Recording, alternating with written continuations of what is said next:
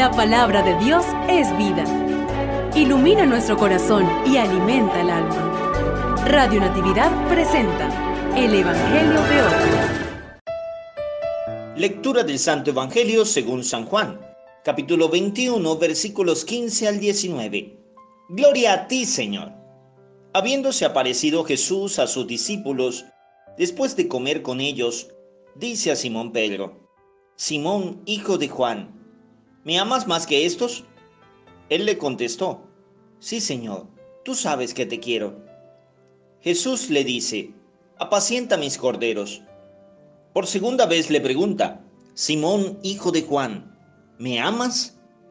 Él le contestó, Sí, Señor, tú sabes que te quiero.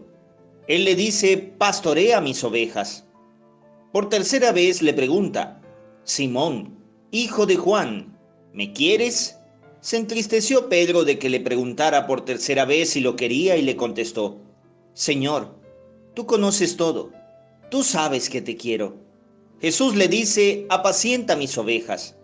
Te lo aseguro, cuando eras joven, tú mismo te ceñías e ibas a donde querías, pero cuando seas viejo, extenderás las manos, otro te ceñirá y te llevará a donde no quieras.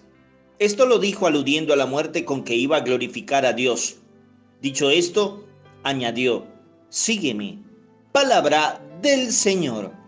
Gloria a ti, Señor Jesús. Un saludo de paz y bien para todos aquellos que nos escuchan a través de Radio Natividad, la emisora católica del Táchira, donde queremos que participes de la gracia de Dios, no solo escuchando el Evangelio, sino también dispuesto a servir y vivir con mayor plenitud las riquezas de la fe. Hoy, queridos hermanos, el amor a Cristo será también la causa que llevará a Pedro hasta Roma, donde será crucificado por el Señor. La manifestación extrema del amor es la entrega de la propia vida. Así fue para Jesús. Los apóstoles también lo hicieron y lo será también para nosotros. ¿En cuántas ocasiones, Señor, nos cuesta tanto perder algo de nosotros mismos por el otro? ¿Cómo quisiéramos aprender a amar como tú amas? Enséñanos, Señor. Esa es nuestra petición en el día de hoy. Pedro es configurado a Cristo, buen pastor. Cuando le dice, apacienta mis ovejas, pastorea mis ovejas, le está dando entonces una gran autoridad y responsabilidad, la de ser pastor del rebaño de Cristo, el pastor supremo.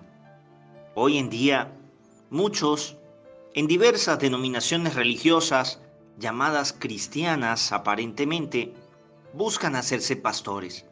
Pero para ser verdadero pastor de Cristo, hay que llevar la continuidad histórica de Cristo. Jesús configura pastor a Pedro. Pedro y los apóstoles configuraron pastores a otros elegidos por ellos. Así nos los enseña la Sagrada Escritura. Y ellos Generación tras generación buscaron elegir a los más idóneos para ser sus pastores. Que alguien llegue de la noche a la mañana y diga, yo soy pastor, sin tener una continuidad histórica, es más tramposo y dudoso que cualquier cosa. No olvides las etiquetas, los sacerdotes buenos somos más, y yo tengo un amigo sacerdote. Dios te bendiga. Gloria al Padre y al Hijo y al Espíritu Santo, como era en el principio, ahora y siempre, por los siglos de los siglos. Amén.